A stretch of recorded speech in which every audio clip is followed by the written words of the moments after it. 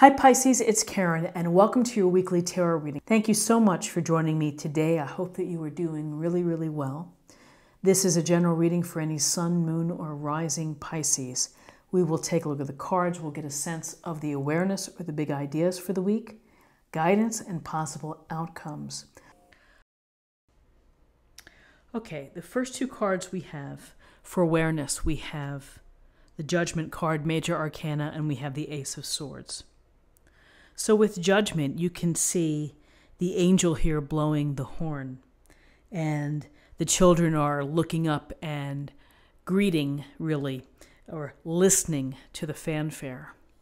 And so when we see judgment in a reading, judgment is the call to you to take the time to judge or to take stock of what's go on, going on in your life, where you've been, what you're doing, what you hope to do in the future. When we see judgment, we often think about second chances, we think about rebirth, a reawakening, and we, we, we, we reawaken as a result of, of gaining knowledge about ourselves, of thinking about what's gone before, where we are now. And so, with this sense of judgment, you can see that it looks like they're coming out of the water there's an idea of uh, of a cleansing, a ritual cleansing, so that you know you're, you're not punished for what happened before. You're able to start fresh, and judgment can happen at any age, where we feel that maybe we can do something else to help us reach you know what the universe has designed for us our true purpose our highest self time for second chances allowances for rebirth for restructuring. And here's the Ace of Swords right next to Judgment. And the Ace of Sword brings clarity, brings um, smart thinking and analysis. And it brings really the truth, the search for truth. This sharp blade will uh, allow you to cut through everything to get to the heart of the matter, to get to the truth. And with the Ace of Swords, again, um, focusing on really what is there the evidence, the facts, doing the, the thinking to look at all sides of an issue. So if you're thinking about making big changes in your life, you know, you may feel the call, you may feel it within your heart, but there also needs to be some smarts attached to that as well, which is you have to maybe think through the process the decision making process, strategizing, problem solving. With ACEs, it's a gift or blessing from the universe, and that gift or blessing is to think uh, perhaps in innovative or new new ways, to develop new approaches, to come up with new business ideas, uh, to manifest or create new ways for you to have better relationships. So we have this chance to reach our highest self, and behind that it's pretty strong of having the Ace of Swords, which is barreling you right through to the truth and to the facts and really what's going on. The truth of the matter, the truth of your desire to for a rebirth, for a second chance. So in terms of guidance,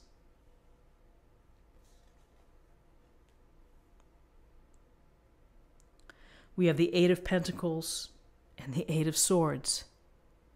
And those are two eight cards, and it's always interesting to see eights because if I recall correctly, the Strength card is also eighth, eight. And so these eight in the suits go to how we use strength in order to uh, move about within our life and face situations.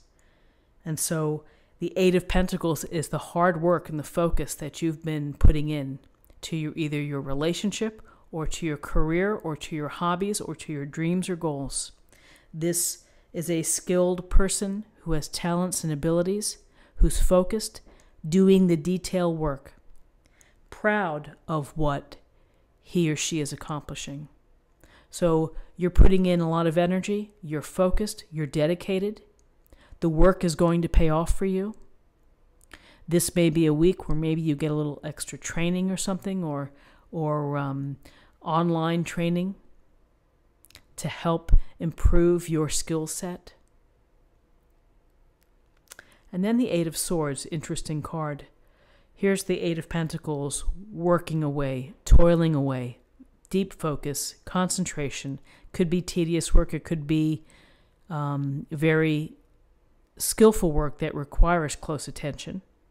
And then the Eight of Swords, which is feeling bound up, which is feeling restricted, and that you feel that maybe you can't get out of a situation. And so you can see she's blindfolded, she's bound. Behind her are the swords. And often this is a it's it's a card where perhaps our doubts helped restrict us and maybe lead us to negative thinking. Uh, this card could also be that someone else is really keeping, uh, I would say oppressive, it's such a heavy word, but could keeping you in a restricted place or, or setting boundaries for you. But really, there's, there's a sense here of unable to move forward, unable to see how to move forward. You may need support, you may need a hand in helping to take that first step. So maybe it's not a good idea to talk to someone, to try to at least be in a position to strip off this blindfold. But you're feeling trapped, you may be feeling restricted and unable to take that first step. So let's see what we have in terms of possible outcomes.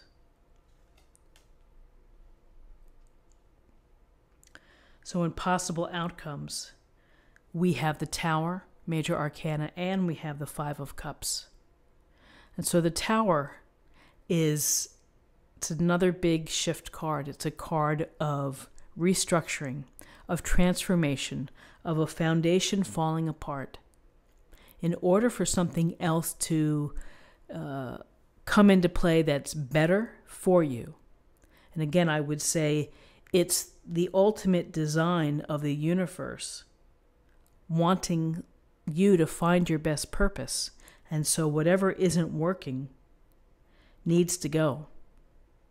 And the drama of this card, the lightning, the blast, the people falling, it's quite dramatic, and again, it can be a shock, it can be a big surprise, it can disrupt the routine of your life. But this disruption may be necessary, particularly when we're thinking about judgment, if we're thinking about second chances, when we're thinking about new ideas. Now, next to the tower is the Five of Cups. And so the Five of Cups is often a card of disappointment, it can be a card of regret. And it seems to me that it's a natural it's a natural feeling that when there's a disruption within your life, when there's a foundation that is changing, that's being altered, where something new is going to come in place, it may take time to deal with that.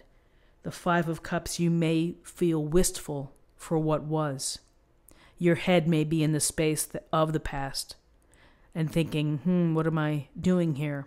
But if you look at this feeling of feeling trapped, something's got to go. You know, something has to move. This this shock of the tower may be the the freedom to allow you to feel that you can take that first step.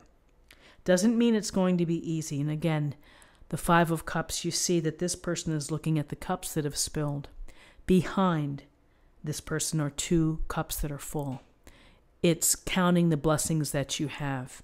Despite the drama or whatever's happening within your life, or if you feel disappointment, if you feel let down, if you feel that things haven't quite worked out the way that you'd hoped they did would. Focus on the blessings that you have that will carry you through. So, interesting cards with our major arcana of the Judgment and the Tower. two big ideas for the week, which is a call, a call to you thinking about is this all there is? What can I do to get to this level that I want to be at? And the tower sweeping in to say things are going to change and they may happen quickly. And the way that you live is going to change as well. Ultimately, once we get past the sadness or the regret, regret and we think about what we do have, then that's the upswing and the better foundation will be in place for you to become your best self. So, interesting cards. Let's get a little more information from the oracle cards, and this will be an affirmation for the week.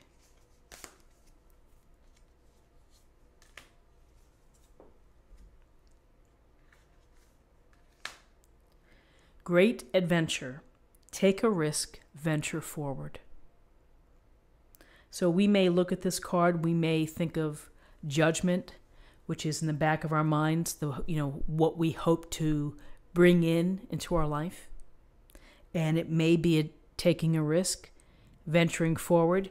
You may be put in a position where you have to do that regardless with the tower. Taking a risk can, again, have great reward. One never knows until they try. But again, uh, you, you get past the Five of Cups, you process the sense of loss or regret, and you you never know what will happen.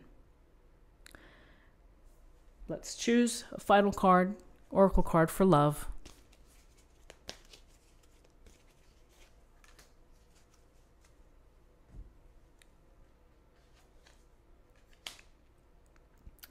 You possess the determination and dedication to consciously demonstrate love, purpose. And again, the purpose is to find your purpose in life that uh, makes you feel alive, makes you feel that you're contributing to the world, that you matter. And judgment is a big part of that, of finding your true purpose, your best self demonstrating love, consciously demonstrating love, the purpose perhaps for all. And it all circles back to love. So that's what I have for you. I hope you found something helpful here today with this reading. If you did, please subscribe, like this video, share this video, comment below. I hope you have a wonderful week, and I look forward to seeing you next week. Take care. Bye bye.